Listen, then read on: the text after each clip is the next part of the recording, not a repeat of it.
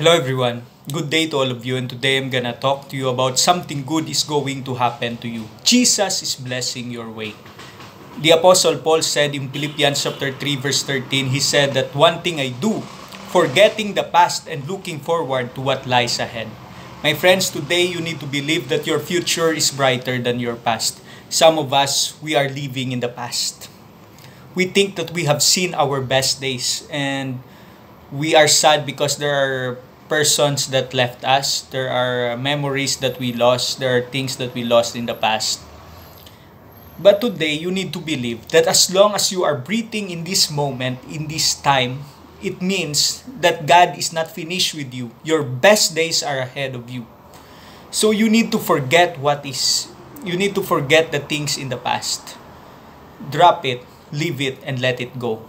Because God has a lot of things in store for you.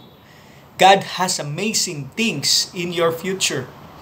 So all you have to do is to believe and to have hope. Why hope is very important? Because the Apostle Paul said that there are three that remains, faith, hope, and love. And yes, the greatest of these is love. But they say that hope is not needed in heaven. That's the point because we are not yet in heaven. So hope is needed here on earth. So if you want to make sure you you can slap your face and if you feel any pain then that means you're still on earth. So you need hope. So hope is found in the Lord Jesus Christ. Because if you are if you are living for yourselves alone, then there are many things in this world that you cannot control.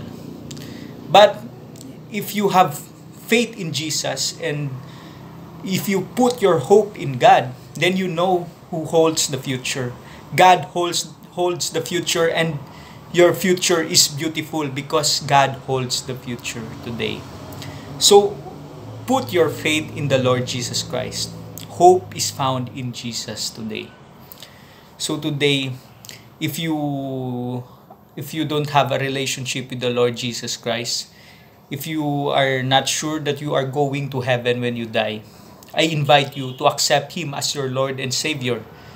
So God loves us so much. He loves us with an everlasting love. He sent His Son Jesus Christ to die for our sins so that we will be saved. We will have eternal life in Him. So today, God wants you to repent of your sins and to accept Jesus into your heart and life. So I invite you to receive Jesus as your Lord and Savior. If you want to receive Jesus, just pray this prayer of faith. Just say, Lord Jesus, I repent of all my sins. Come into my heart and life. And I receive you as my Lord and Savior. My friends, if you pray that prayer, I believe that you are now born again.